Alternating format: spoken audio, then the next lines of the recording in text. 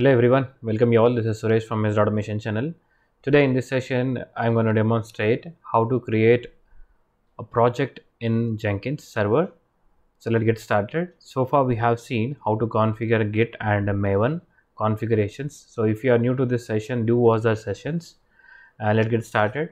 Let me open Jenkins war file location. So it's in my one of the desktop folder. So this is a Jenkins war file. So how we start this Jenkins so let me open a command prompt from here. And if you are in a, a mac or linux open the terminal. And wherever your jenkins war file is there you can uh, redirect to that war file location and type this command. Java hyphen jar jenkins. So as we are not using java 8 version so we have to use some extra options while running this jenkins war file enable future java. Right. So all logs are up and running now. Let's wait for this local server to be up and running. So it started initializing and loading all plugins. So now jenkins is fully up and running. So go to any browser. So in my case i'm going to the chrome and open a new tab and try for localhost 8080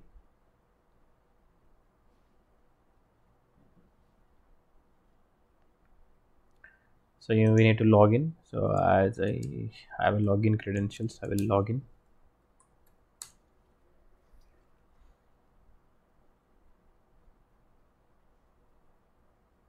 So now i'm into the jenkins dashboard page so i already have one project here but for now we are creating a new item. So go to this new item in the desktop or in the dashboard. You will see new item people's build history and all these details. So there you can find the new item. Once you click on the new item here you can see enter an item name. So that is representing what kind of project or what kind of job that we are going to create. So i'm uh, i will give the name as uh, simple java project. Right i will select the freestyle project. Let me click on ok.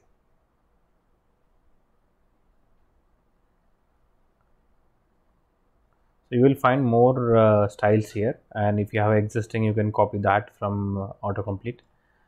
So it is taking a while.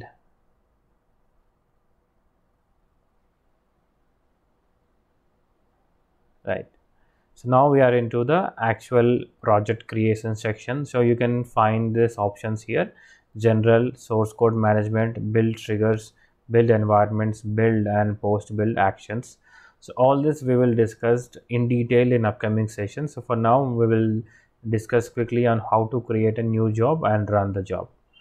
So now here i'm naming this job as uh, demo 123 and here you can see there are some options here. So we are not selecting these options. So i'm gonna use the source code management as git repository. So we need to provide the git repository url so i already opened the git here.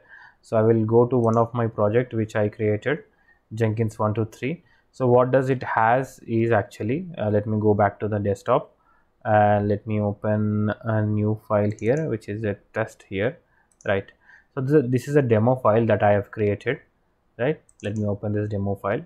So under this i have a normal java code and which is a hello world.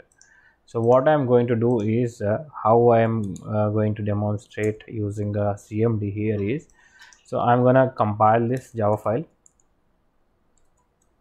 So i'm gonna compile this and after the compiling i will execute that java file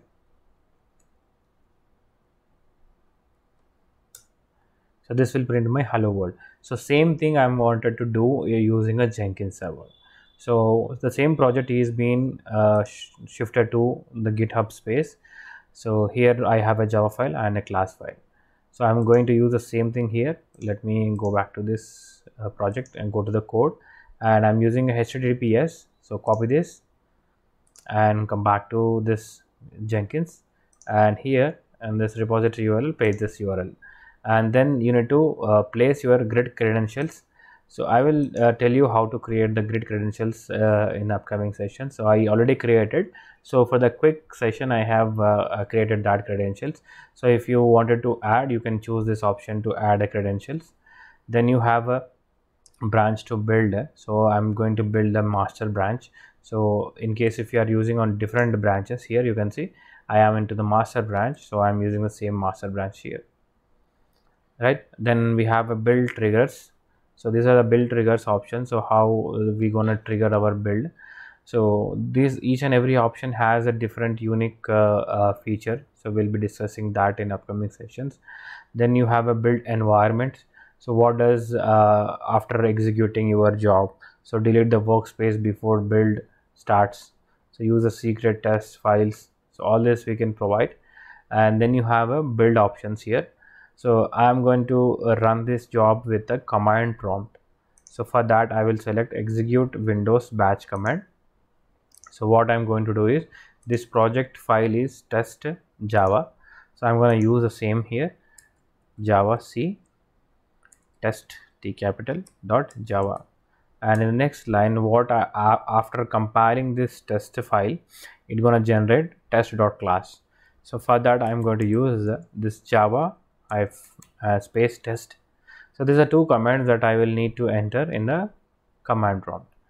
Then i am gonna save this. So there is some problem here. Uh, let me go back to dashboard again. So our project is created somehow. So let me go back to my project again. The simple java project that we have created just now. And uh, how to edit the project if you already have created so go back to that project and click that and go to the configure. So in the configure you will see all the details already entered here. So if everything is correct then no need to worry. And if something goes wrong then uh, we have to debug this. So let me know if you face any issue in this particular area after creating a job are you able to save or apply? So i will tell you the simple trick how to manage that if you got any error so now i'm going to do what is uh, let me build this project. So i can build from here within the project details or you can build from the dashboard also. So you in the dashboard you once you go to this name section you will see this arrow down. So here you will see build and all these details and you can see here last success last failure last duration and you can see this uh, small status and this is the the weather report status so now what i'm do uh, going to do is build now. So after building a job you can see here in the left down section you will see a job is running here. So simple java project is running. Let me click on that. And once you again uh, click on that you will go to details. Again click on that project. You will go to the actual details of the build. So it gives the build hash 1 june 6 uh, 2020 the current timestamp. And then you will see uh, started by. So who has started this? So the revision and the idea of that repository all these details will be referred here. And you can uh, see the console outputs. So once you go to the console output you can see console output. It is ticked as right tick. That means it is success. Then you can see started by the user. Then you can see running. Then it is fetched from where it is fetched uh, this git uh, location so the git location is pointed here. And then you can see at the bottom you can see the first time build skipping uh, change logs and all these details.